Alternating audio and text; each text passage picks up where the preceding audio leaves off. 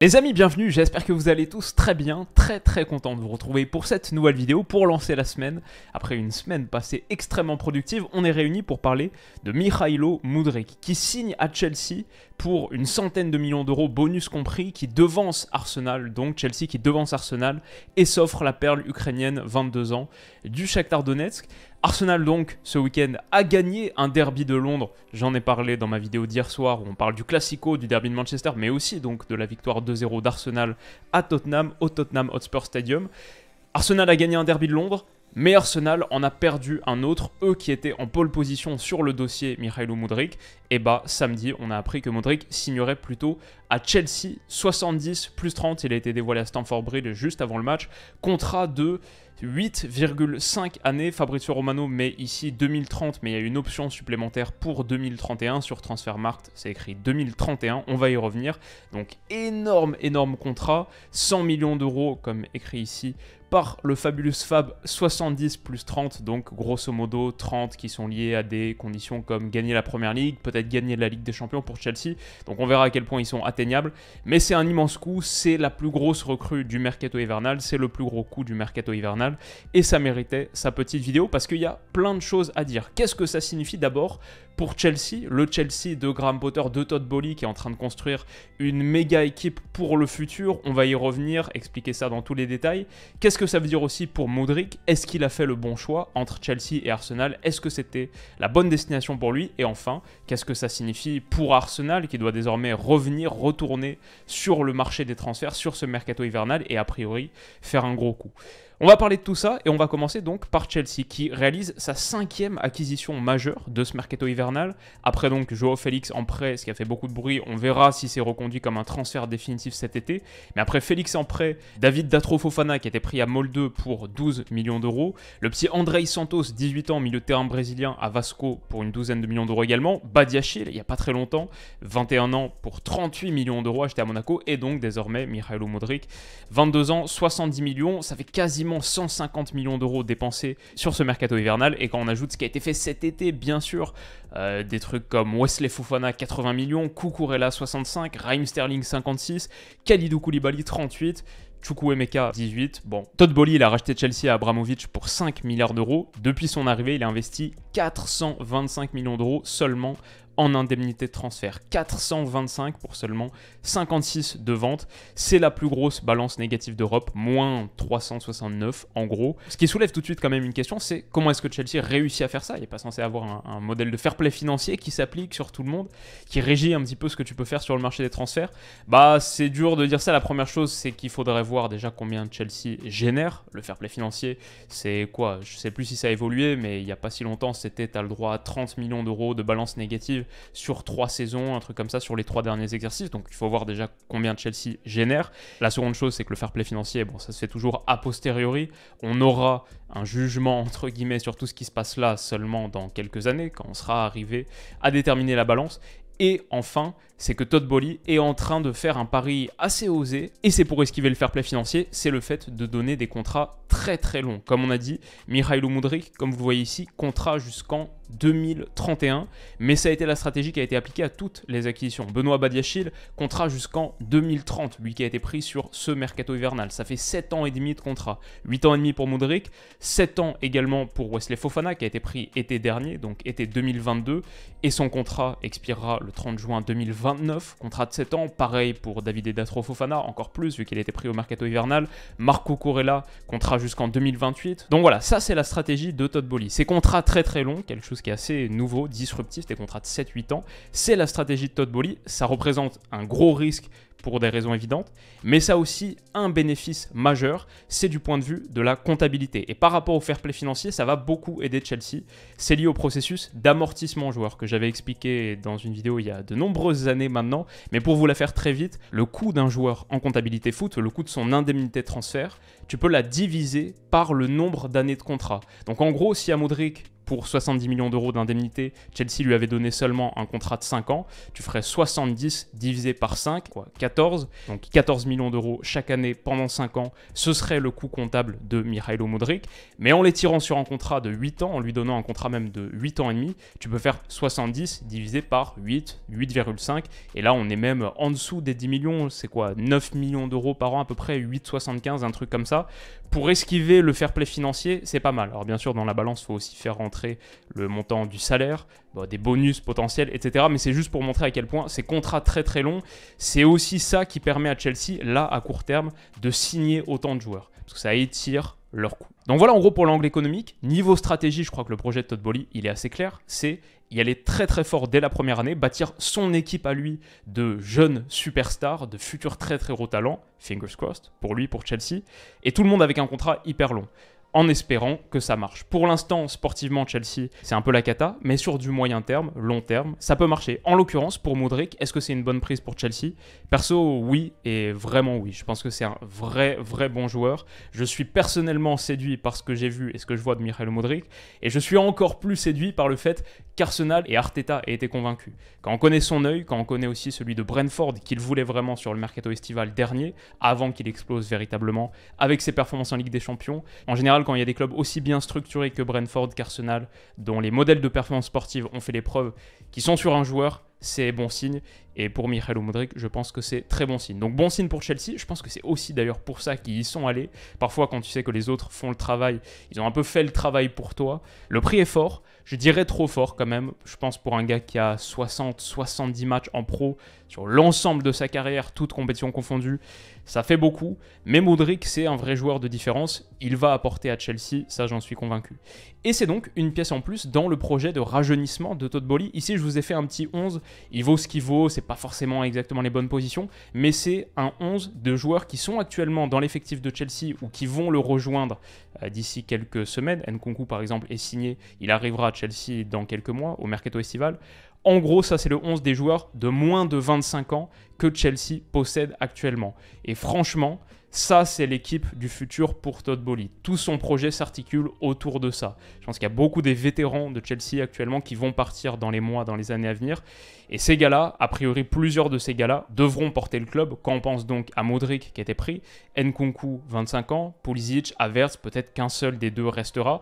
Mais si Félix qui est actuellement prêt peut être conservé, Modric, Félix, Nkunku, Havertz, ça ressemble à une partie de Football Manager euh, jouée en 2021-2022. Armando Broja sur le poste de 9, à voir ce que ça donne, des gros espoirs, mais à voir. Mason Mount qui est encore là. Chukwuemeka, pour l'instant, de ce qu'on voit, ça me plaît plutôt. Santos, on verra. Conor Gallagher euh, un petit peu des difficultés d'intégration, mais on a vu à Crystal Palace à quel point ça pouvait être un crack. Rhys James et Lewis Hall, peut-être les futurs latéraux de Chelsea sur les 5, 6, 7 prochaines années.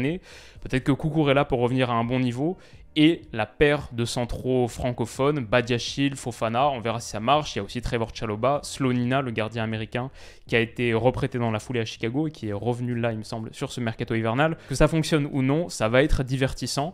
Et à travers ça, on voit le projet de Boli. Il est très très clair, construire son équipe de jeunes superstars. Et peut-être que sur les prochains mercato, il n'y aura pas beaucoup d'investissement. Peut-être que là, 80%, 90% de l'investissement pour Boli est fait.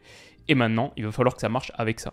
Donc voilà pour Chelsea. Pour Mihailo Mudrik maintenant, est-ce que c'est le bon choix? Déjà, la première chose à dire, c'est, j'ai envie de dire presque félicitations. On peut avoir tendance à oublier, dans le cadre de ces mercatos, quand ça se joue entre plusieurs clubs, on peut avoir oublié à quel point lui, il est en train de vivre la, la meilleure semaine de sa vie. Il est en train de réaliser son rêve, de signer dans un top club de Première Ligue, depuis le Shakhtar à 22 ans. Enfin, je peux même pas imaginer ce qui se passe dans son cerveau en ce moment.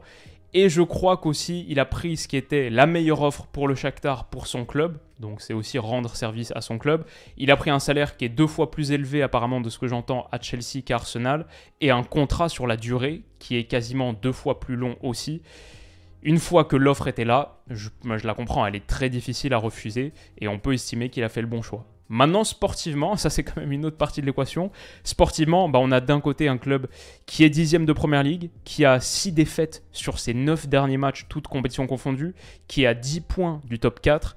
C'est un club qui est en très très grande difficulté. On ne sait pas si Graham Potter va finir la saison. Ça, c'est la situation actuelle de Chelsea. Et de l'autre, l'autre offre, bah, c'est le leader de Premier League, leader avec 8 points d'avance sur son dauphin Manchester City. Euh, un club qui est désormais favori au titre, forcément, qui a vraisemblablement trouvé son coach, lui, pour les prochaines années, qui lance peut-être un cycle de domination du foot anglais, on verra, mais en tout cas qui est très très bien parti pour faire partie des cadors des prétendants avec un effectif, l'effectif le plus jeune de Première Ligue, pondéré par minute jouée. Il joue un foot merveilleux à Arsenal.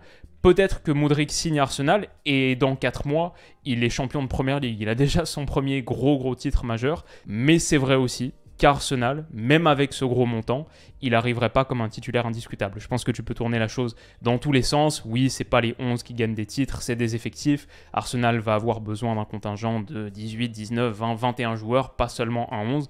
Mais en attendant, il y a Gabriel Martinelli sur son poste, celui d'ailier gauche, de joueur offensif excentré sur le côté gauche, demi-espace, c'est celui de Gabriel Martinelli qui donne amplement satisfaction à Mikel Arteta. On peut aussi dire qu'Arsenal, dans un collectif qui marche très très bien, et qui a très bien marché sans toi, c'est pas forcément les effectifs les plus faciles à intégrer. Alors qu'à Chelsea, pour moi, dans ce Chelsea-là, il a sa place de titulaire quasiment garantie jusqu'à la fin de saison. Il a forcément une vingtaine de matchs de Première Ligue titulaires qui l'attendent devant lui pour faire ses preuves et il va un peu endosser le costume, comme là avec le drapeau de l'Ukraine, il va un peu endosser le costume de sauveur du club. Il est extrêmement attendu par la fanbase, c'est une grosse pression, mais je comprends aussi que ce soit un défi particulièrement excitant. T'es pas un rouage en plus dans une machine très bien huilée, tu dois être le nouveau moteur de ce club, grosse pression, mais terriblement excitant. Et quand tu ajoutes ensuite tous les éléments extrasportifs contractuels qui sont hyper intéressants à Chelsea, bon, la décision me semble assez claire, compréhensible et potentiellement bonne. Bon, ça on verra, on verra s'il y a le collectif qui lui permet d'exprimer ses qualités. Un truc que j'ai vraiment hâte de voir quand même, c'est Modric et Félix ensemble, même si c'est que pour quelques mois. J'ai trouvé qu'avant son carton rouge, l'heure de jeu qu'a joué Félix, il était impressionnant et je l'ai trouvé vraiment vraiment bon. J'ai vu toutes ses touches de balle, tous ses déplacements. Franchement, Félix, ça peut marcher à Chelsea et si ça marche bien avec Modric, bon, ça pourrait commencer à ressembler à quelque chose. Enfin, donc, il y a la question pour Arsenal, un club qui doit retourner au marché, qui doit retourner maintenant à la source et trouver quelque chose, trouver un renfort parce qu'Arsenal en a besoin. Bon, tout n'est pas perdu, c'est aussi un club qui a montré pour moi, à travers cette affaire Moudric, que c'est un club qui n'est pas prêt à renier sur ses principes, que c'est un club qui travaille bien et qui lâchera pas n'importe quel montant. Je pense que dans le cadre de futures négociations, c'est they made a stand, ils ont montré qui ils étaient et ça peut leur servir. Ils ont montré leurs principes et ils ont souvent aussi par le passé, dans le cadre de ces négociations, trouvé des pistes alternatives intéressantes. Je crois que l'été dernier, quoi, ils voulaient faire Vlaovic, ça se fait pas. Finalement, ils prennent Gabriel Jesus, qui a très très bien marché. Ils vont être respectés sur le marché. Maintenant, il faut quand même trouver quelqu'un. Être respecté sur le marché, c'est bien, mais il leur faut des renforts, je pense vraiment. Mon idée, c'est que pour le coup, ce poste de délié gauche, de joueur meneur un peu excentré, c'était pas forcément là où ils avaient le plus besoin de renfort. Donc peut-être ça aussi, c'est quelque chose qu'on peut percevoir comme étant positif. Non seulement ils ont Gabriel Martinelli, mais sur ce rôle, je pense que Emile Smith-Rowe, qui revient de blessure, qui va être un joueur tout neuf là après son opération, je pense qu'il peut vraiment amener quelque chose. Il y a Fabio Vieira aussi qui commence à avoir des minutes, même s'il est plus peut-être le remplaçant de Martino de garde, pas vraiment ailier de 4-3-3. Bon, c'est pas forcément la zone où Arsenal, pour moi, avait le plus fort besoin. S'il doit y avoir deux prises sur ce mercato hivernal, pour moi, c'est d'abord sur la pointe, où Gabriel Jesus va être blessé encore un mois et demi, deux mois. Et en attendant, Eddie Nketiah, c'est intéressant sur les occasions qu'il se crée, mais j'en ai fait toute une partie de mon analyse sur le North London Derby. À la finition, c'est encore un petit peu tendre, et si lui se pète, il n'y a plus aucune couverture. Si Eddie Nketiah se blesse là dans deux semaines, t'as un mois, un mois et demi, sans Jesus, sans Nketiah, sans vrai neuf. Donc peut-être qu'il faudrait prendre quand même quelqu'un sur ce rôle de pointe. Et enfin, pour moi surtout, au milieu de terrain, Thomas Partey, Granit Xhaka, t'as deux énormes, énormes fragilités, deux énormes points de tension, parce qu'il n'y a aucun remplaçant pour aucun des deux. Mohamed El Neni, c'est 2-3 crans en dessous. Albert Sambilo Konga, pour l'instant, ça marche vraiment pas. Donc Thomas Partey, Granit Xhaka ont besoin d'avoir un remplaçant. Pour Odegaard, il y a peut-être, tu peux dire, Smith Rowe, Fabio Vieira, mais pour les deux là, il n'y a personne. Donc je pense qu'Arsenal a vraiment besoin d'un milieu de terrain pour apporter de la couverture et potentiellement pour remplacer en cas de blessure. C'est ce qu'Arsenal doit faire. Ce move, je le trouve quand même hyper intéressant. Une star de plus en première ligue.